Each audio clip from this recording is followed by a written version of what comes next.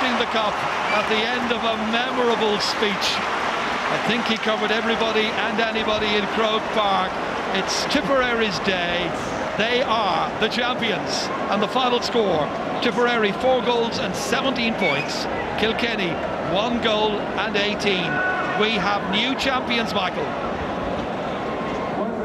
We have indeed, and our thanks, of course, to Ger Canning and Michael Duignan in the commentary box. Cyril Farrell, Tomas Mulcahy and Ger Loughnane here in our studio. Obviously, wanting to quickly add their congratulations to Tipperary. They had to play better, Ger, than they did last year, and my God, they sure did. They sure did, Michael. And I, I was arguing yesterday in the start when I was when, when I was going for Tipperary. I was I argued the fact that people are saying that, that Kilkenny are better, mm. Tip are not as good.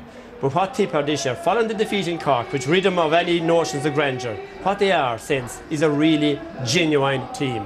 And you put your finger out there, he says, you can have all the plans and all the tactics you like, but you cannot beat heart, mm. where you absolutely tear into it as hard as you can. Every man fights for every ball. Sometimes things, mm. things, things will go wrong, but you'll get the breaks. Mm. Today they got the breaks. They fought manfully in the tradition of the great Tipperary teams of the past. So did Kilkenny. Didn't give up without a fight. Yeah. But on the day, Tip were the better team, fought harder. They had the conviction. They're the only team in Ireland that had the conviction to could beat that they could beat. Yeah. They believed they could beat Kilkenny, and that was such a massive factor in today's event. It required a huge test of character in the second half for them, to most because having done so much hard work in the first half, they were only a point up, and it looked like the tide was turning.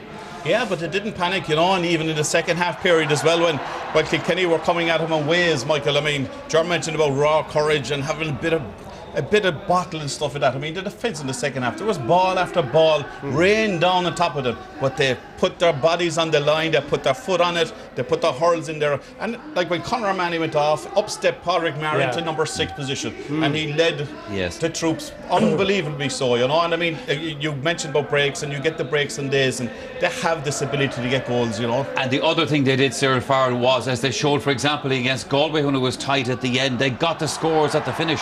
Yeah, there's some still very well too, like Seamus mm. Hannigan got two points. I was delighted for Benny Dunne because last year he was the fall guy, came on, got a great point. Yeah. And I, I, I, this young Hennessy guy, I'm talking about him all year. I've seen him a lot in UCG and he's a great hurler too. But like, it was the scores they got, and as Ger says, it was the conviction. They played with great passion. It's hard to believe that in the second half they scored 3 7 like which is a big score in yeah. any half. Like you know, and like there's there's new beating Tipperary or uh, beating Kilkenny by eight points is, is unbelievable. But like you can't go without mentioning a great great Kilkenny team as well. They've oh, given us great no days. They, they, will be back. They will of course, but there'll be some, as Eoin Kelly said, there'll be some cracking third tomorrow evening. So, Tipperary are worthy All Ireland hurling champions for 2010, and that landmark five in a row remains as elusive as ever. This afternoon it finished Tipperary four goals and 17 points, Kilkenny one goal and 18. And the other remarkable thing I think that's happened at Croke Park here today, there actually was no pitch invasion, and the GAA got their wish on that one. And obviously still celebrating and will do for days and weeks, I'm sure, to come in Tipperary. Okay, Cyril Farr, Tomas and Ger Loughnane here with me in studio. Uh, Tomas, Lar Corbett, we talked about him before the match. We talked about the damage he can do if he gets a chance in goals against you. Did it in the first half and then did it again in the second.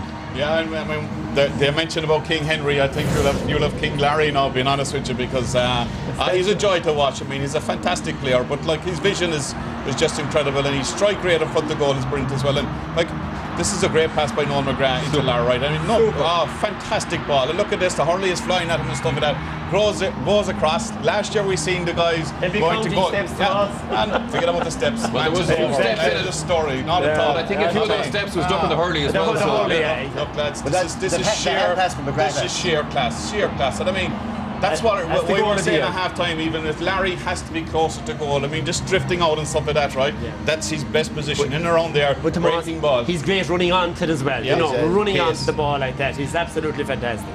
Noel McGrath got the other crucial goal in the second half, Cyril. Yeah, Noel McGrath is a great hurler, great race. He does the right thing in the right ball. He actually gets a, a goal that's reminiscent of what Kilkenny usually get. Now, Brendan Cummins been a lot of time criticised, a long, long ball in here. Great ball that falls. You think, you think Kilkenny back's going to break, but next thing, he comes rushing in, bangs into there with a flick of his between his hurl and, and his and his leg. But the point is, Michael, he comes in from a long way out. You'd imagine the Kilkenny bat's going to take it. It's coming down. It's a long time coming down. He comes in from the blind side there, gets a little flick, actually hits with the hurl and the foot. But he, he's after coming along. But it's just it's a kind of a goal all the time that Kilkenny get.